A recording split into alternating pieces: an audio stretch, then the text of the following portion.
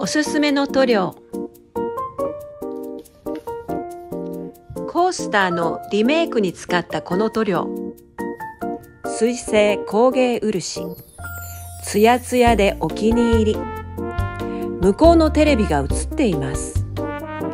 食べ物を入れても安心。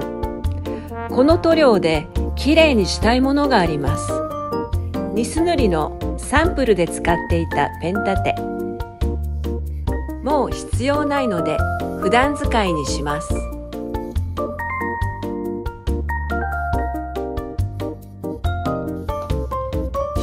これは手作りですがいただき物なんです。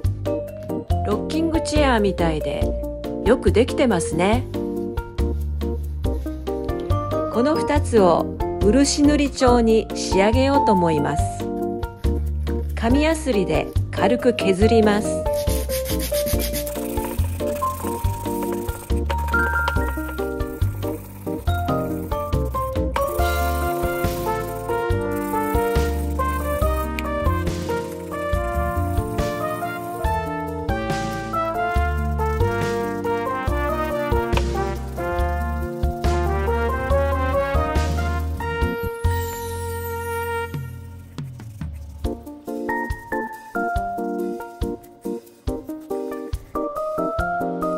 こりをきれいに取ったら塗っていきます。裏から塗ります。今回は藍色を使います。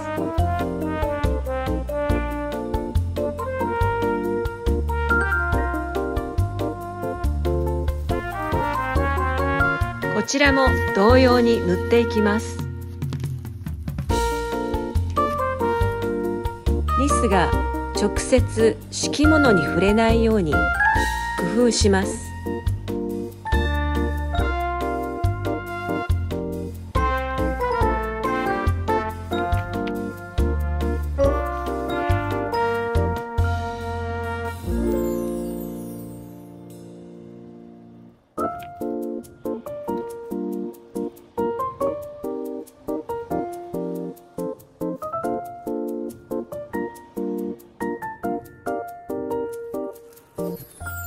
数時間乾燥させます。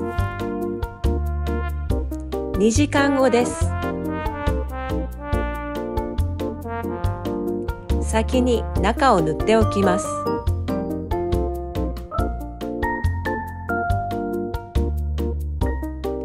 残り全体を塗っていきます。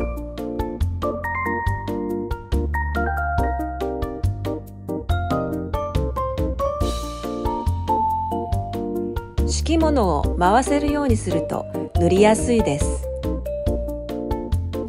こちらも同様に塗っていきます。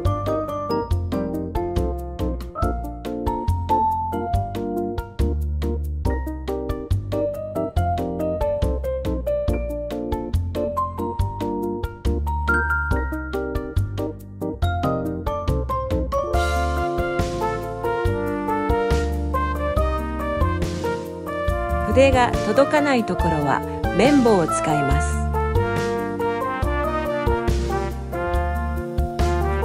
数時間乾燥させます。塗り乾燥磨きを何度か繰り返します。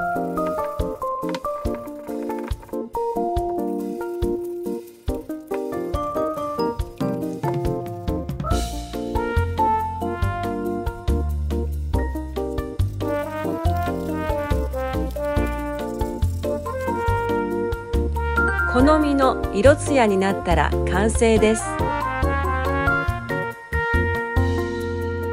ツヤツヤに仕上がりました。高画質です。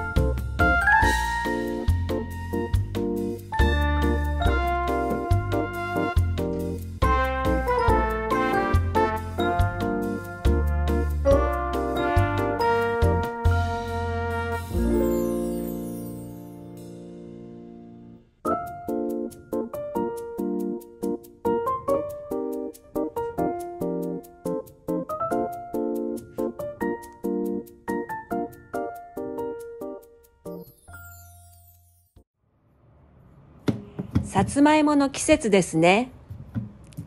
買いすぎて傷みそうなので、焼き芋にします。炊飯器に全部入れて、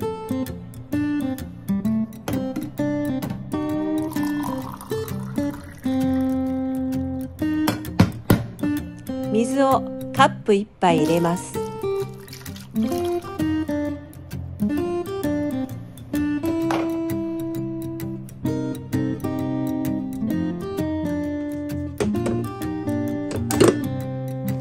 炊飯器にセットして。玄米モードでスイッチオン。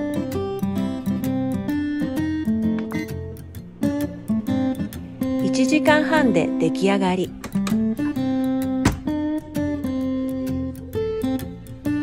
美味しそうです。簡単焼き芋。よく火が通っています。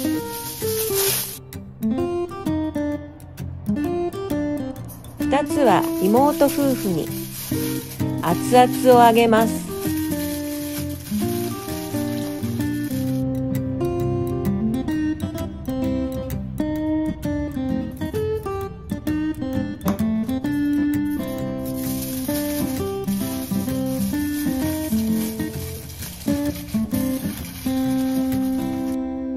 この大きいのもちゃんとできています。これはカットして冷凍します。2つは母に持っていきます。これは私の試食ですね。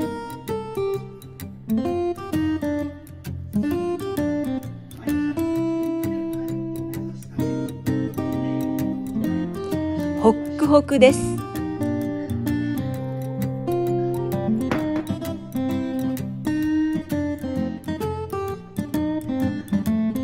甘くて美味しいです。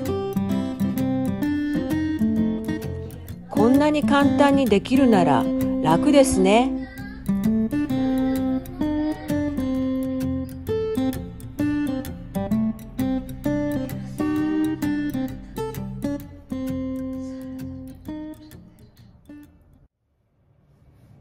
対馬紅茶紅風紀入れ方のイラストがついています。入れてみましょう。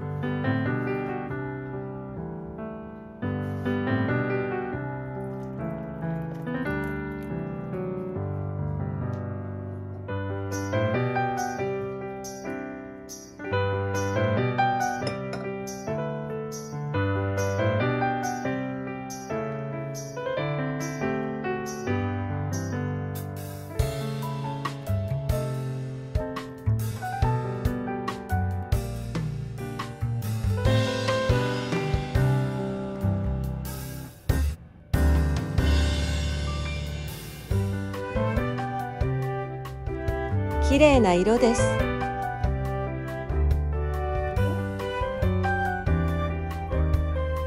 あっさりとして飲みやすい。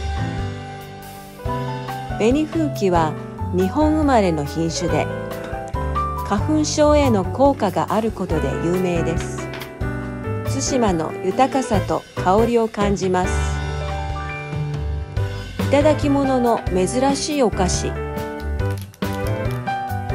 北海道の酔いとまけ。日本一食べにくいお菓子でもというコピーがついています。どんなお菓子か興味津々です。珍しいものをありがとうございます。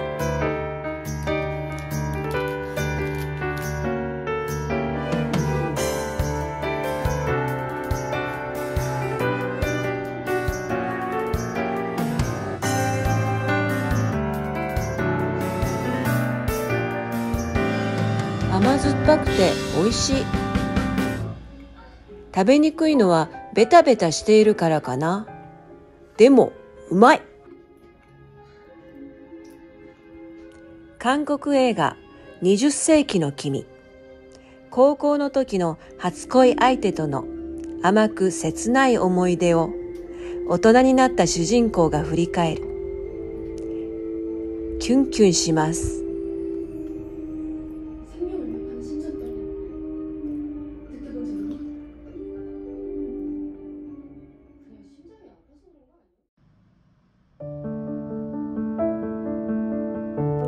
秋は統計的に晴れの日が多いらしい。過ごしやすい季節。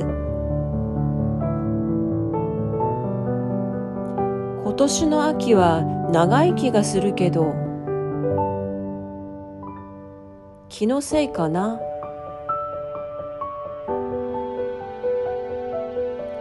窓から見える皆既月食。